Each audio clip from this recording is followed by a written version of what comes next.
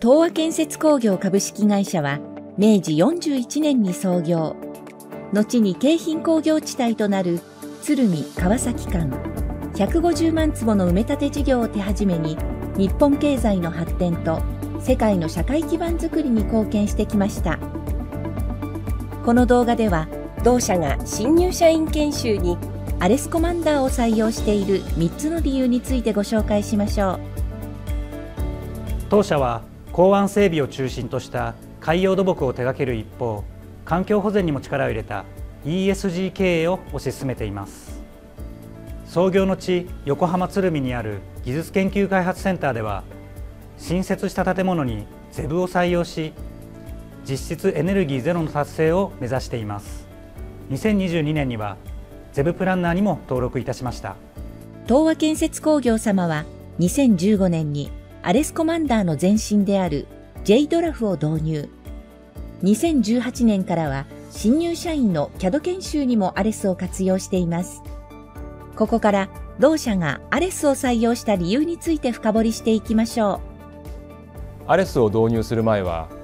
他社の CAD を社内標準としていました。CAD ユーザーが増えライセンス不足が慢性化したためライセンスの増強が必要になりましたが高額なライセンス料が課題でした。そこで既存の CAD と比べコストパフォーマンスが良く高い互換性を有するアレスを社内標準 CAD とすることにしました。アレスのライセンス形態が1つのライセンスを複数のユーザーで共有できるマルチユーザーライセンスであったこともコストを抑える上で魅力がありました。アレスは高いコストパフォーマンスを発揮します。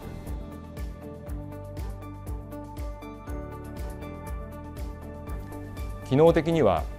アレスが DWG の完全互換でありながら 2D だけでなく 3D にも対応している点に魅力を感じています。3D モデリングソフトとしても利用できるのは助かります。東和建設工業様はエンタープライズサポートもご活用いただいています。ご不明点についてメール、電話、遠隔でサポートするサービスです。メールで問い合わせると迅速に回答が届きます。回答メールには画面キャプチャーもついているので操作手順も分かりやすく問題を迅速に解決に導くことができました。遠隔サポートもあると聞いたので今度そちらも試してみたいと思っています。アレスを活用した研修はいかがでしたか？研修ではアレスに精通した講師の方もお願いできました。アレスだとパッケージで研修できる点がとても便利だと感じました学生時代に他社ソフトを活用していた新入社員も問題なくアレスを活用できていました。互換性に優れていると思いました。アレスの柔軟なライセンスが生み出す圧倒的なコストパフォーマンス。2D から 3D までの幅広い対応力。そしてサポートの手厚さをご愛用いただいているようです。建設産業全体が ICT 化を進める中国土交通省はビムシムを原則適用しています。アレスは 3D モデリングや点群データもサポートしていますので CAD の枠を超えて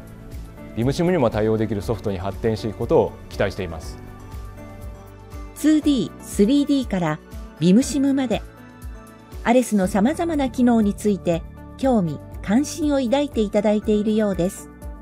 明治から昭和にかけて活躍した実業家浅野総一郎が創業した同社はこうしたツールを活用し、未来の社会をも作るのですね。東和建設工業株式会社様、ありがとうございました。アレスの30日間無料体験版をお試しください。